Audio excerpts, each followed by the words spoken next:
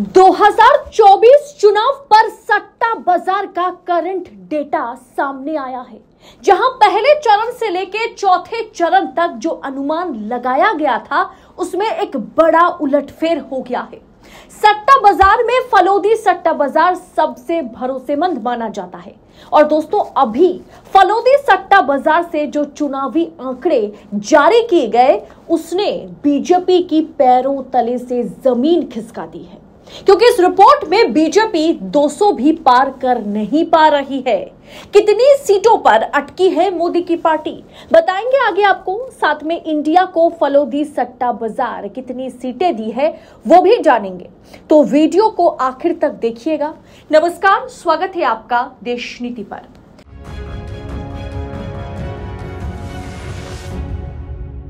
देश नीति केवल सच्ची और पक्की खबरें। कहा जाता है कि सट्टा बाज़ार सबसे पहले चुनावी नतीजे को भाप लेता है।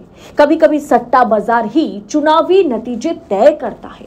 उस हिसाब से देखा जाए तो फलोदी सट्टा बाज़ार ने तो मोदी शाह की लंका ढाने का ऐलान कर दिया। बिना देर करे आपको मैं फलोदी सट्टा बाज़ार से जो खबरें आ रही है, जो रिपोर्ट हमारे हाथ लगी है, उसके बारे में बता देती हूँ। दोस्तों, दिल्ली की सात सीटों की बात की जाए तो दिल्ली की सात में से दो सीटें बीजेपी के खाते में और पाँच सीटें इंडिया गठबंधन के खाते में जाती हुई दिख रही है। लेह लद्दाख में दो सीटें हैं, एक सीट बीजेपी के खाते में और एक सीट जो है इंडिया गठबंधन के खाते में जा रही है। जम्मू कश्मीर की छह में से छह सीटें जो है वो इंडिया अलायंस के पास जा रही है और बीजेपी जम्मू कश्मीर में खाता नहीं खोल पा रही है। बंगाल की बात की जाए तो बंगाल में छत्तीस सीटें, जी हाँ चालीस में से छत्तीस सीटें इंडिया अलायंस या टीएमसी के खाते में जा रही है और बीजेपी के खाते में महज बंगाल बंगाल की छह सीटें हैं। मणिपुर की दो सीटें ही इंडिया अलायंस के पास, बीजेपी यहाँ पर शून्य। मेघालय, मिजोरम और नागालैंड में बीजेपी खाता नहीं खोल पाएगी। लेकिन सट्टा बाज़ार के मुताबिक बीजेपी के खाते में मेघालय में दो सीटें जा रही है, जो कि संभव नहीं है, क्योंकि मेघालय में बीजेपी चुनाव लड़ ही नहीं रही। खैर सट्टा बाज़ार की रिपोर्ट है, वही आपको मैं बता रही हूँ।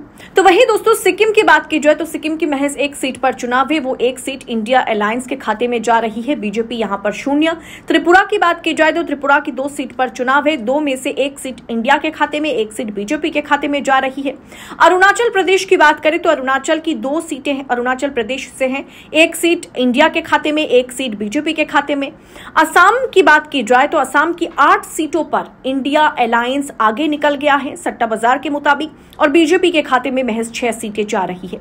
मध्य प्रदेश की बात करें तो मध्य प्रदेश की 19 सीटें बीजेपी के खाते में जा रही है, जबकि 10 सीटें जो है, वो इंडिया गठबंधन के खाते में जा रही है। आपको मैं बता दूँ, मध्य प्रदेश में उनतीस सीटें हैं, उनतीस में से 28 सीटें जो है 2019 में बीजेपी जीती थी।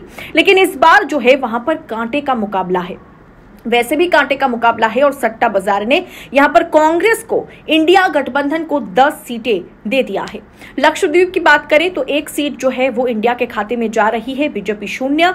पंडिचेरी की बात की जाए, पुडुचेरी तो उसमें भी इंडिया अलायंस के पास एक सीट जा रही है, बीजेपी शून्य। आंध्र प्रदेश की बात की जाए तो दो सीटें आंध्र प्रदेश में इंडिया गठबंधन के खाते में, बीजेपी आंध्र प्रदेश में तीन सीटें जीत सकती है, जीत सकती है। और आंध्र प्रदेश की बाकी सीटें जो है वो वाईएसआर के पास जाती हुई नज़र आ रही है। तेलंगाना की बात की जाए तो तेलंगाना की 11 सीटें इंडिया के खाते में, बीजेपी के खाते में तीन सीटें, बीजेपी तेलंगाना में पिछली बार चार सीटें जीती थी 2019 में। तमिलनाडु के उनचालीस के उनचालीस सीटें जो है, वो इंडिया अलायंस के पास जा रही है। बीजेपी के खाते में शून्य। कर्नाटक की पच्चीस सीटें जी हाँ 28 में से 25 सीटें कर्नाटक की इंडिया के खाते में या कांग्रेस के खाते में जा रही है। तीन पर बीजेपी फंस चुकी है कर्नाटक में। केरल की बात की जाए तो केरल की 20 की 20 सीटें इंडिया गठबंधन के खाते में जा रही है। बिहार में बिहार में 42 में से उनतीस सीटें जो है, वो आरजेडी और इंडिया अलायंस, यानी आरजेडी कांग्रेस अलायंस के पास, इंडिया गठबंधन के पास जा रही है। बिहार में एनडीए के पास, बीजेपी के पास 11 सीटें जाती हुई नज़र आ रही है। छत्तीसगढ़ की बात की जाए तो छत्तीसगढ़ की 9 सीटें जो है वो इंडिया अलायंस के खाते में जा रही हैं। दो सीटें बीजेपी के खाते में जा रही हैं। उत्तर प्रदेश की, उत्तर प्रदेश की 80 में से 43 सीटें जो है वो अखिलेश और कांग्रेस के खाते में जा रही है। यानी इंडिया गठबंधन के खाते में अस्सी में से तैतालीस सीटें जा रही है और सैंतीस सीटों पर बीजेपी उत्तर प्रदेश में भी फंस चुकी है। उत्तराखंड की बात की जाए तो पाँच सीटों पर महज चुनाव है। बीजेपी दो सीटों पर अटकती हुई नज़र आ रही है और उत्तराखंड में तीन सीटें इंडिया गठबंधन के खाते में जा रही है। दोस्तों, अगर राजस्थान की बात करें तो 25 में से 12 सीटें इंडिया अलायंस के खाते में और बीजेपी के खाते में 13 सीटें, जबकि राजस्थान में 2019 में 25 में से 25 सीटें ही बीजेपी जीती थी। लेकिन इस बार मामला गड़बड़ा गया। वैसे भी, लेकिन जो प्रडिक्शन सट्टा बाज़ार के मुताबिक सामने आया है उस हिसाब से राजस्थान में 12 सीटें इंडिया जीत सकता है। पंजाब की बात करें तो 13 में से 13 सीटें जो है वो आम आदमी पार्टी, कांग्रेस का जो गठबंधन है, उसके खाते में जा रही है। बीजेपी पंजाब में शून्य। हरियाणा की बात की जाए तो आठ सीटें इंडिया गठबंधन के खाते में जा रही है। दो सीटों पर बीजेपी सिमटती हुई नज़र आ रही है। ओडिशा की पाँच सीटें इंडिया गठबंधन के खाते में, नौ सीटें बीजेपी के खाते में। इसके अलावा दोस्तों, वहाँ पर बीजेडी है, बीजू जनता दल है। वो क्या इंडिया अलायंस के साथ आएगी या बीजेपी के साथ जाएगी, ये चुनाव के नतीजे आने के बाद तय होगा। महाराष्ट्र की 48 में से 30 सीटें जो है वो इंडिया गठबंधन के खाते में जा रही है और 18 सीटें जो है वो बीजेपी के खाते में जा रही है। झारखंड की बात की जाए तो झारखंड की 10 सीटें जो है वो इंडिया गठबंधन के खाते में जा रही है और चार सीटों पर बीजेपी सिमटती हुई झारखंड में नज़र आ रही है। हिमाचल प्रदेश की बात करें तो हिमाचल प्रदेश में इंडिया अलायंस जो है खाता खोलता हुआ नज़र नहीं आ रहा है। बीजेपी चार सीटों पर, चार में से चार सीटें हिमाचल प्रदेश में जीतती हुई नज़र आ रही है। गुजरात की बात करें तो गुजरात में भी इस सट्टा बाज़ार के मुताबिक गुजरात में एक बड़ा उलटफेर होने जा रहा है।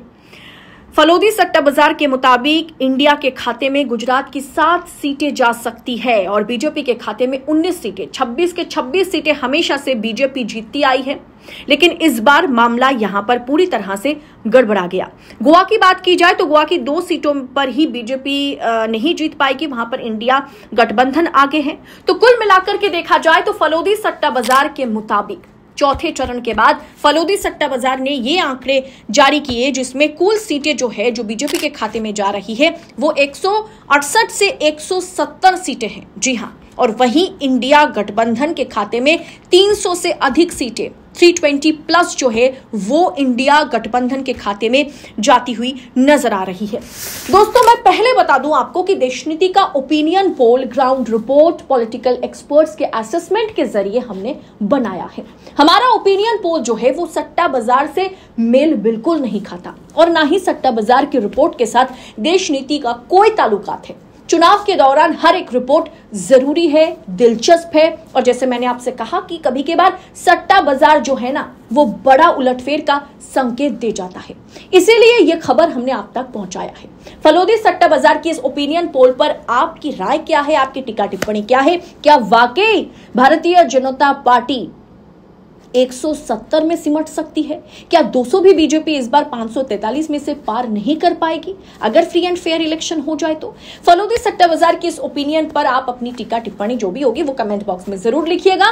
बाकी वीडियो पसंद आया होगा तो आगे फॉरवर्ड कीजिएगा लाइक कीजिएगा और ऐसी तमाम खबरों को पाने के लिए देशनीति को ज़रूर सब्सक्राइब कीजिएगा। फ़िलहाल इस वीडियो में इतना ही। बहुत बहुत शुक्रिया। जय हिंद, जय भारत।